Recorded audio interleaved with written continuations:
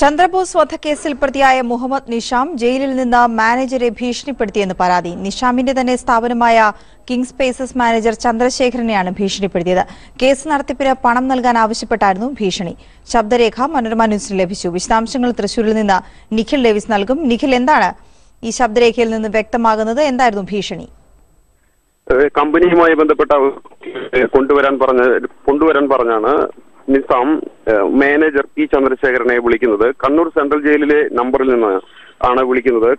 അതായത് മാനേജറുടെ നമ്പറിലേക്ക് ഇന്നലെ പതിനഞ്ച് എട്ട് രണ്ടായിരത്തി പതിനേഴ് ഒൻപത് പന്ത്രണ്ടിനാണ് കോൾ വരുന്നത്. ആ സമയത്ത് വിളിച്ച ഉടനെ തന്നെ നിസാം വളരെ ആക്രോശിച്ചാണ് സംസാരിക്കുന്നത്. ആ, ഡോക്യുമെന്റ് എത്രയും വേഗം കൊണ്ടുവരണം എന്ന് പറഞ്ഞാണ് മാനേജരെ ഭീഷണിപ്പെടുത്തുന്നത്. ഈ ഡോക്യുമെന്റ് തന്റെ കൈവശമില്ലെന്ന് പറഞ്ഞിട്ടും വിശ്വസിക്കാതെ വീണ്ടും വീണ്ടും ഭീഷണി രണ്ടു തവണ ഫോണിൽ വിളിച്ച് ഭീഷണിപ്പെടുത്തി. ഈ ഭീഷണിപ്പെടുത്തിയതെല്ലാം ഫോണിൽ മാനേജർ റെക്കോർഡ് ചെയ്തിട്ടുണ്ട്. കുറെ കാലമായി നിഷാം നിസാമിന്റെ കമ്പനിയിലെ മാനേജറാണ് ഈ ചന്ദ്രശേഖരൻ. കുറെ കാലമായി ഈ നിഷാമിന്റെ പീഡനം അനുഭവിക്കുകയാണ്. ജോലിയിൽ നിന്ന് പ്രാവശ്യവും ശ്രമിച്ചിട്ടുണ്ട്. കള്ളക്കേസിൽ കൊടുക്കുമെന്ന് പറഞ്ഞ് പലതവണ ഭീഷണിപ്പെടുത്തിയിട്ടുണ്ട്.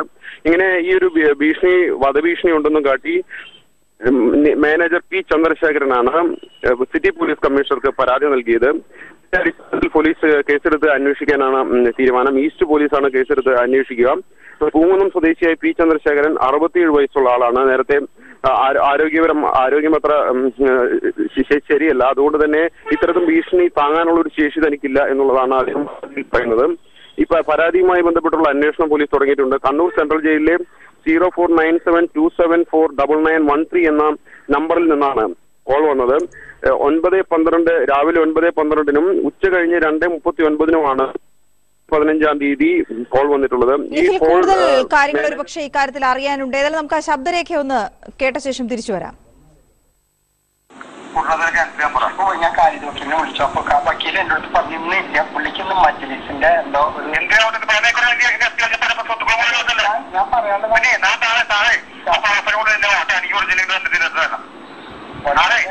ഞാൻ മെസ്സേജ് അയച്ചിട്ടുണ്ട്. ആ, സക്കാണ് അതെ ഞാൻ അതിന് ഉത്തരവാദിത്തമില്ല അവിടെ നിന്ന് എടുത്തുകൊണ്ടേ എനിക്ക് പറയാൻ